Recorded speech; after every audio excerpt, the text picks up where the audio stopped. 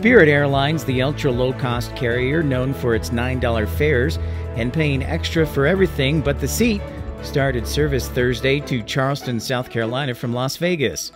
In what may be seen as a preemptive shot across the bow to ULCC competitor Breeze Airways, Spirit puts Las Vegas as the fourth destination from South Carolina's largest city, already flying to Newark, Philadelphia, and Fort Lauderdale, Florida.